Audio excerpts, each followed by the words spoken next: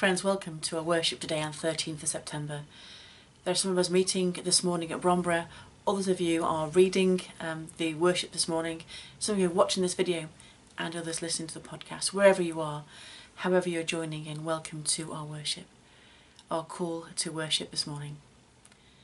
Draw close, for Jesus is among us. Draw closer, for he calls us to unite. Be still and let us worship him together. We listen to our first hymn Dear Lord and Father of mankind, forgive our foolish ways.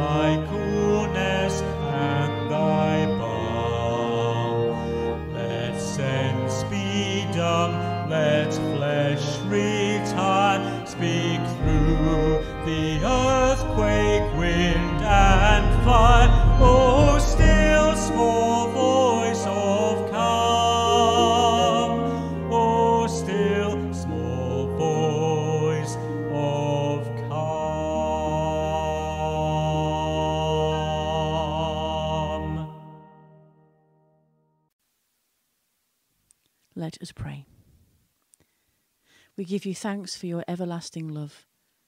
You remain our constant companion. You share in our hope and our dreams, console us when we are in trouble, and are ever ready to help us when our strength fails. we remain in your constant debt, an obligation that can never be settled, to love you and our neighbour and care for your creation. Even when we forget you, lost in feelings of self sufficiency, your Spirit calls us and restores us to your side. We give thanks for your forgiveness. When we have gone astray, may it inspire us to a new way of living, when we might join with you in singing a new song. Lord Jesus, for words and actions we regret, for the hurt we have caused, restore what we have broken. Lord, have mercy. Lord Jesus, for rejection of our neighbour, for communities in conflict, forgive us for ignoring the wonder of your healing presence. Christ, have mercy. Lord Jesus, for those who suffer hunger, for the homeless and oppressed, Help us to reach out in loving service. Lord, have mercy. In the abundance of God's grace, may we know your mercy and forgiveness, and in living this grace, may we forgive others. In Jesus' name, Amen. We hear a reading from Paul's letter to those in Rome, Romans chapter 14, verses 1 to 12. Romans chapter 14, verses 1 to 12. The weak and the strong. Accept the one whose faith is weak without quarrelling over disputable matters. One person's faith allows them to eat anything, but another whose faith is weak eats only vegetables. The one who eats everything must not treat with contempt the one who does not and the one who does not eat everything must not judge the one who does, for God has accepted them. Who are you to judge someone else's servant? To their own master servants stand or fall, and they will stand, for the Lord is able to make them stand. One person considers one day more sacred than another. Another considers every day alike. Each of them should be fully convinced in their own mind. Whoever regards one day as special does so to the Lord. Whoever eats meat does so to the Lord, for they give thanks to God. And whoever abstains does so to the Lord and gives thanks to God. For none of us lives for ourselves alone, and none of us dies for ourselves alone. If we live, we live for the Lord and if we die, we die for the Lord. So whether we live or die, we belong to the Lord. For this very reason, Christ died and returned to life, so that he might be the Lord of both the dead and the living. You then, why do you judge your brother or sister? Or why do you treat them with contempt? For we will all stand before God's judgment seat. It is written, as surely as I live, says the Lord, every knee will bow before me, every tongue will acknowledge God. So then, each of us will give an account of ourselves to God. This is the word of the Lord. Amen. That was Romans chapter 14, verses 1 to 12. We listen to this beautiful song The Lord is our salvation.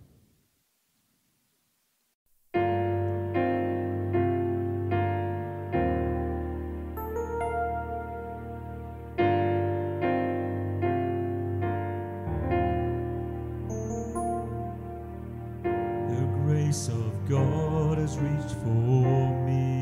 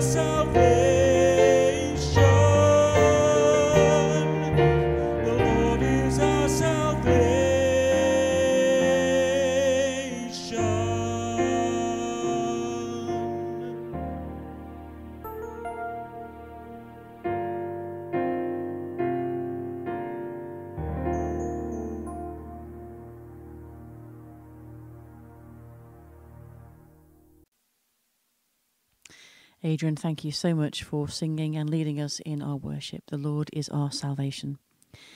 We hear now our gospel reading. This is taken from Matthew's Gospel, chapter 18, verses 21 to 35. Matthew chapter 18, verses 21 to 35. Then Peter came to Jesus and asked, Lord, how many times shall I forgive my brother or sister who sins against me? Up to seven times? Jesus answered, I tell you, not seven times, but seventy seven times. Therefore, the kingdom of heaven is like a king who wanted to settle accounts with his servants. As he began the settlement, a man who owed him ten thousand bags of gold was brought to him. Since he was not able to pay, the master ordered that he and his wife and his children and all that he had be sold to repay the debt. At this, the servant fell on his knees before him. Be patient with me, he begged, and I will pay back everything. The servant's master took pity on him, cancelled the debt, and let him go. But when that servant went out, he found one of his fellow servants who owed him a hundred silver coins. He grabbed him and began to choke him. Pay back what you owe me, he demanded. His fellow servant fell to his knees and begged him, Be patient with me, and I will pay it back. But he refused. Instead, he went off and had the man thrown into prison until he could pay the debt. When the other servants saw what had happened, they were outraged and went and told their master everything that had happened. Then the master called the servant in. You wicked servant, he said. I cancelled all that debt of yours because you begged me to. Shouldn't you have had mercy on your fellow servant just as I had on you?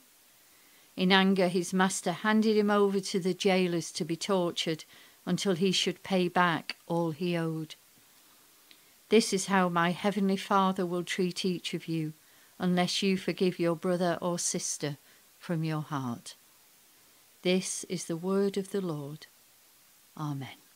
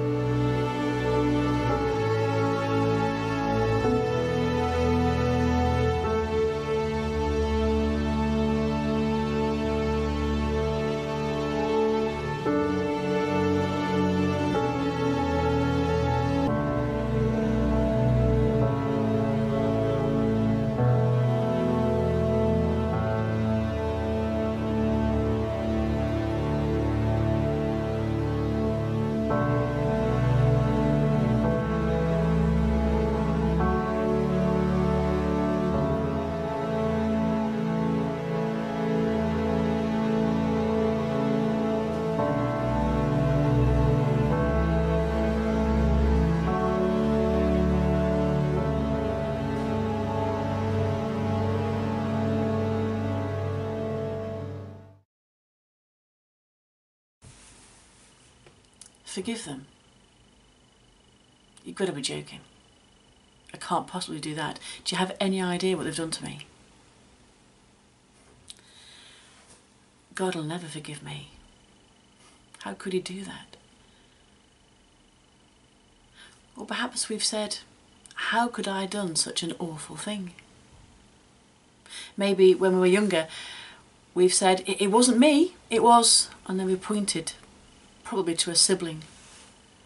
We've all said these words, we've all had these words spoken to us, we've all lived these words, and these words are part of our history of life and faith. I know that in recent times we probably haven't been on a car trip, or a bus trip, or a train trip, or a plane trip, and depending where you're going, they're often fun. We're going somewhere nice, we're going to experience something, but those trips we haven't had for a while. But there is another kind of trip, it's called the guilt trip. Have we had those? They're not such good fun, are they? They're part of our story too, those guilt trips, those things in our lives when we've said something or done something and it's part of who we have become. We all feel a sense of guilt. Not the kind of legal, innocent and guilty type of guilt, but, but guilt about our lives. And at the outset, God does not want us to feel guilty because that sense of feeling guilty brings about a fear. There's a fear of life, a fear of, of being found out, a, a fear of being disowned by others. What if they really knew what I was like? A, film, a fear of retaliation of someone um, coming after us and we're looking over our shoulder. The fear of being judged. And through that judging of being ostracised. It's not a good trip to be on. A guilt trip. It's hard and it's painful. In 2006, in Nickel Mines, an Amish community, Charles Carl Roberts shot 10 female students at a school. Five of them fatally, and then he shot himself. And the front of the newspaper a few days later brandished one word. I wonder what one word you would use. Anger? Hatred? This one word was a word that was chosen by other people in their lives. Gordon Wilson, remember him when his daughter was killed in Enniskillen? The one word used by this Amish community was the word forgiveness. We're going to see a short snippet of a video that came after those shootings in nickel mines. And for those listening on the podcast, you can find this video by searching um, in Google or any other search engine for Nickel Mines Mother and Forgiveness. Let's watch this video. As the nation marks the anniversary this week of the Newtown, Connecticut school shooting, families of some of the 26 who were killed attended a vigil today at the National Cathedral in Washington. Prayers were offered for all of the victims of gun violence in this country, and that would include the five young Amish girls who were killed and five who were wounded just a few years ago in south central Pennsylvania. Jeff Glor tells us that out of the horror of that school shooting has come a lesson in forgiveness. It's been seven years since Terry Roberts' life changed forever. In October 2006, her 32 year old son Charlie walked into an Amish school in Lancaster County and shot 10 young girls before killing himself. I heard the sirens and saw helicopters. Then the phone was ringing, and it was my husband. And he said, I need you to come to Charlie's house right away. And I got out of the car and I looked at my husband, and these sunken eyes just saying, It was Charlie. That could not be. And yet it truly was. It was true. It was our son. Robert's initial reaction was that she had to move away. But the Amish came to her house the night of the shooting to say they wanted her to stay. Some of the victims' families attended her son's funeral. There are not words to describe how that made us feel that day. And then for the mother and father that had lost not just one, but two daughters at the hand of our son, to come up and be the first ones to greet us. Wow. Is there anything in this life we shouldn't forgive? Terry Roberts now shares this message with those who've experienced trauma. And every Thursday, she cares for the most seriously wounded survivor of the shooting, now 13. It's against Amish beliefs to appear on camera, so Donald Kraybill often speaks on their behalf. You have this mother who raised a son that did this horrific damage to this young woman. And the mother has the courage and the spiritual fortitude to come back and to care for this uh, young woman. And the parents of the young woman welcome her into their home. It's a powerful, powerful story. Those families in Newtown who may still have understandably conflicted feelings now, still less than a year later, what do you, what do you say to them? Ask God to provide new things in your lives, new things to focus on, and that doesn't take the place of what is lost. But it can give us a hope and a future. A future made possible for Terry Roberts because of forgiveness.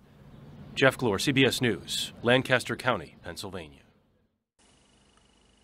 The word forgiveness caught the attention of the media. Of course it did. It was countercultural, not words of anger or frustration, but that of forgiveness. But what does it mean? What did it mean for the people in the Amish community to go to the mother of the killer and say they'd forgive her and her family in this unbelievable traumatic incident? Did they mean they forgave the murderer? Does it make sense? How does righteous indignation figure into the crimes of humanity? How can we have justice and forgiveness at the same time? How can we have accountability for violation of laws of God along with application of the mercy of God? Every one of us needs to understand and comes to terms with the issue of forgiveness. Because forgiveness, forgiveness is part of God's plan. When properly understood, it will not contradict God's justice. So before we go any further in looking at this Gospel of Matthew, we need to define forgiveness. So let's start with what forgiveness isn't. Forgiveness is not compromise of morality. Forgiveness is not a violation of justice. Forgiveness is not the avoidance of conflict. I think if we're honest, most of us don't like conflict. We don't want to share hard feelings or harsh words with someone else, so we skirt around issues of conflict. Sometimes forbearance is the right thing to do, but simple avoidance of conflict is not the same as forgiveness. So, what is the real meaning of forgiveness? Well, for a moment, try to forget everything you've heard or assumed about forgiveness. What if forgiveness could mean release. So just for a moment, let's make, not make it any more complicated than that. Release. Forgiveness means to choose to take someone who you've been holding in debt to you, holding in resentment and bitterness, and to release them and release ourselves. Forgiveness is not calling something that someone else did that was immoral or destructive okay. It's not turning a blind eye towards injustice. Forgiveness simply means you choose to release somebody from a personal obligation to you. That sounds a bit harsh, doesn't it? And Jesus knows it's difficult. Father, forgive them. They do not know what they are doing. So we turn to our reading from Matthew's Gospel. This is Matthew chapter 18. And up steps Peter. I like Peter. I like him a lot because he says things that maybe I would say in the wrong way, in the wrong time, and he gets all confused and sometimes he has harsh words spoken to him too. But he steps up and he speaks in a way that perhaps I can identify with. Sometimes he gets it right and sometimes he gets it wrong. And of course, Peter knows what a guilt trip looks like. Remember the denial? Him fleeing the scene of the courtyard? He knows about guilt trips. He really does. So he says to Jesus, I'm going to quote, How many times shall I forgive my brother when he sins against me? Up to seven times? So Jesus, as we've heard in our reading, answers with a parable in which a man owns money. Tells us 10,000 gold bags. Wow, I mean, what has, he, what has he been spending it on? He must be somebody of quite influence to have that amount of money. And he pleads with forgiveness, and he is granted forgiveness. The debt is wiped clear, obligation has completely gone. He's freed, he's released from that debt. And so then he leaves the presence of the master and goes out he then treats another with such disdain, such lack of forgiveness. He bounds the other, not just in owing him, but bounds him in prison. We need to look at the full context of this chapter. Jesus was speaking not only about forgiving one another, but about Christian character, both in and outside of relationships and the church. Last week we talked about what it is to be under discipline within the church, about um, speaking to another one to one when they've offended, or taking one other person with you, or, or bringing before the church if they don't hear, or if necessary, letting them go. And Peter here is wanting to learn about forgiveness and benevolent and asks Jesus, is seven times enough? Well, I think, where's that number come from? We know seven is a good number biblically, but where's it come from? Well, the Jewish rabbis taught that forgiving someone more than three times was actually unnecessary, and they cited Amos chapter 1, verses 3 to 13, where God forgave Israel's enemies three times and then he punished them. So Peter's saying by offering to forgive more than double what the Old Testament example was, Peter was perhaps thinking he might get an extra reward or commendation from Jesus. But when Jesus says that forgiveness is way more than that, Peter, he's a bit confused. And in fact, he's pretty stunned along with the rest of the disciples. Sometimes we're stunned too at other people's generosity to be gracious with us. Are we as gracious with others as that grace has been lavished upon us? These disciples, although they've been with Jesus for some time, were still thinking in terms of the law and not in terms of grace. Grace that we see in Jesus' life. By saying that you were to forgive others 77 times, Jesus is saying there's unlimited amounts in how you can forgive people. There's unlimited times for how we can forgive people, even those who continually offend us. As Christians, with forgiving hearts, with hearts full of grace, we should not limit the number of times we forgive.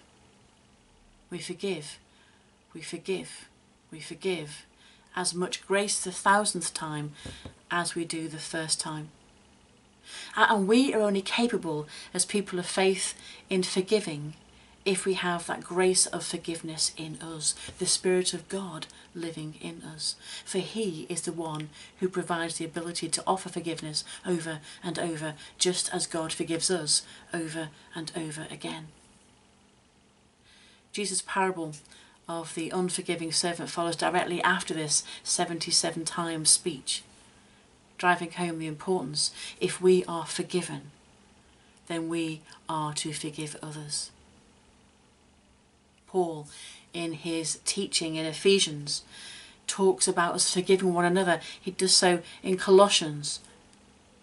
But he says in Ephesians 4, verse 32, he admonishes us to forgive one another, even as God, for Christ's sake, has forgiven you. Clearly, forgiveness is to be abundant, overflowing, and available to all, just as the grace of God is poured out upon us and is available for all.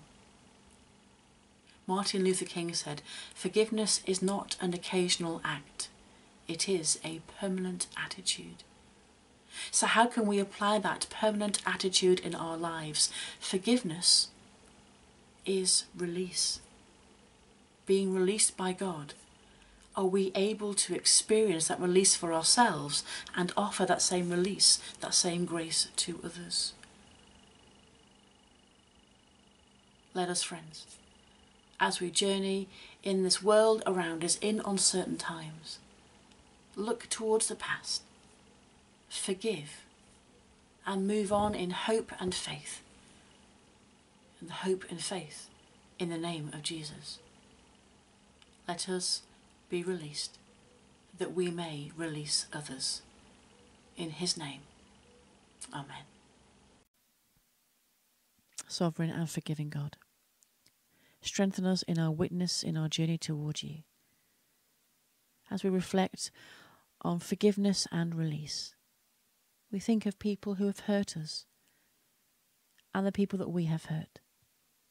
May we know the strength this very day of release of freedom and the power of forgiveness. You've made us into a family of faith. May we draw close to others on this pilgrimage journey, that we may journey to what is a life of hope and peace with you. Guide us and sustain us. Healing Spirit, breathe into our lives, our homes, and our communities bring healing into fractured lives and relationships. May we, each of us, be reconcilers and bridge builders of truth. Companion Lord, as we take up our cross and follow you, May we bring light and peace into the world around us. May we bring strength to those who are unwell, consolation to the bereaved, peace to those who are anxious, confused, and fearful. We look for a new hope, an assurance of a new dawn, as we focus on you and the cross. May we never lose hope, but take up our cross and follow you.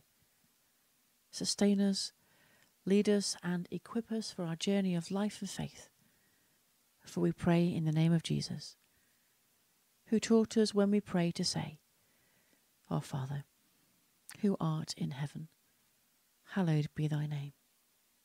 Thy kingdom come, thy will be done on earth as it is in heaven.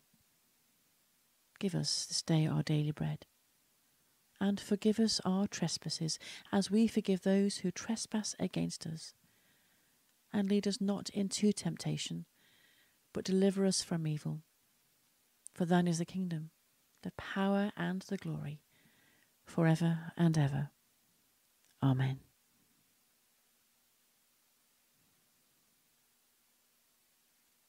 Friends, we listen to the song Never Too Late. It's never too late to let go and start again.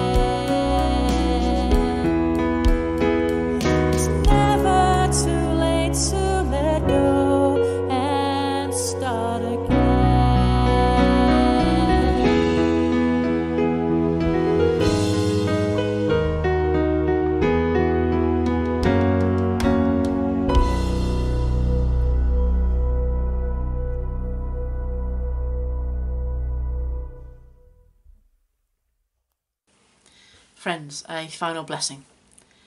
Creator, forgiver, and comforting God. May we know the strength of your Spirit in our lives as we journey with you into the known and unknown encounters of the weeks to come. May we speak of your justice, live for you, and know your grace and forgiveness in our lives, that we may share that same forgiveness with others. And the blessing of God, the Father, the Son, and the Holy Spirit, remain with you forevermore. Amen. May God bless you until we reunite again next Sunday for our worship. God bless.